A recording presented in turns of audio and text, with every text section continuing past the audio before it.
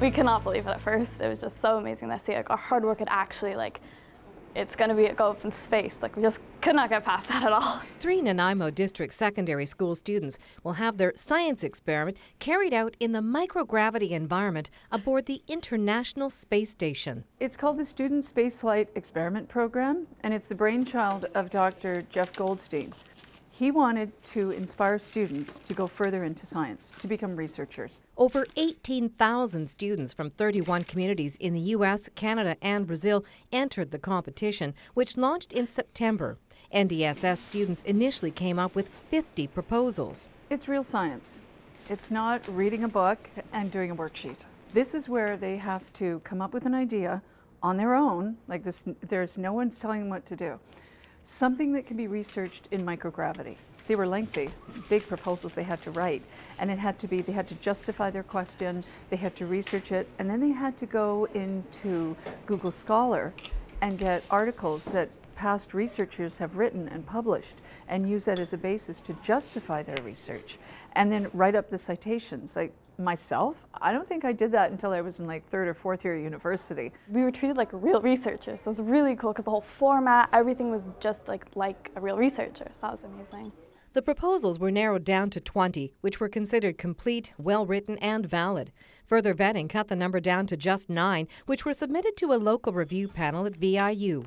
From that, three projects were submitted to the SSEP National Step 2 Review Board, which met in early December at the Smithsonian National Air and Space Museum in Washington, D.C., who then selected one flight experiment from each community. There were so many good ideas, and uh, as a non science person, when I read these experiments, uh, I was just, you know, I was just really surprised at what students came up with themselves, the research that they've done and just the ideas behind their, their thinking and being able to explain it and uh, being able to conduct the experiment themselves. Uh, it seemed beyond them, but at the same time, it just goes to show you what students are really capable of when we expect more from them. Essentially, our project is we're um, testing the effectiveness of the drug L-carnitine in inhibiting muscle atrophy. So sounds kind of complicated at first. Um, basically, we're just trying this drug which has been proven to help at decreasing muscle atrophy, and we're going to inject it into planaria, which is like a little uh, flatworm, and we're going to see the effects of its retainment.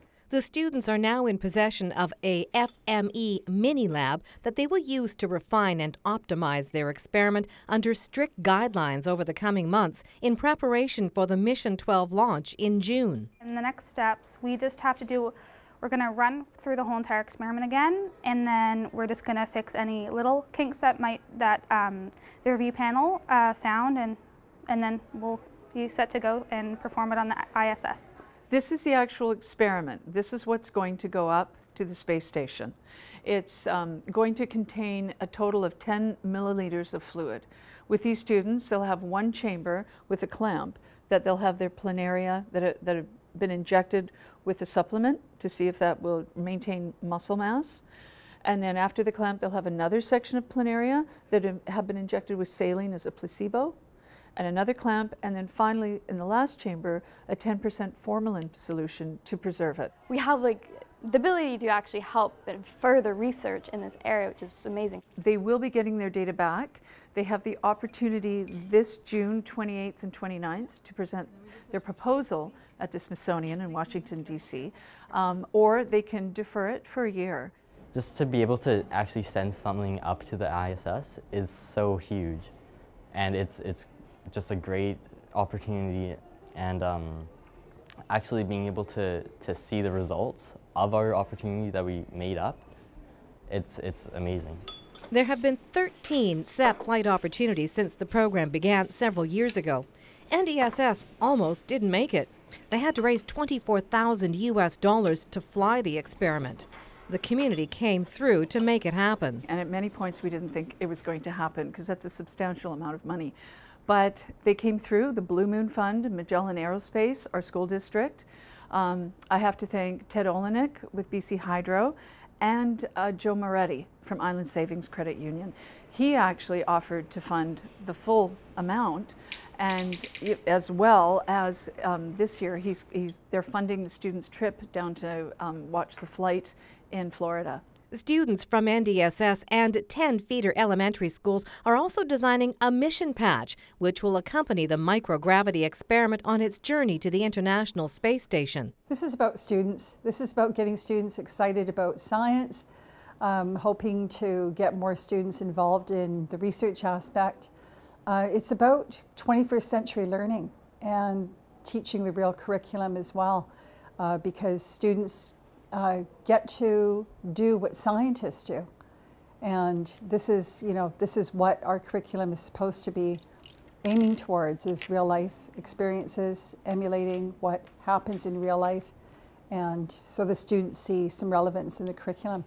I think this made me look at science in a different point of view. I never really was able to, never really had the opportunity to do a research paper before and kind of have my own, have our own creative control on it. And so I think it's pretty cool to learn about science in a way that we want to learn about it and make all of our own choices on what we choose to investigate.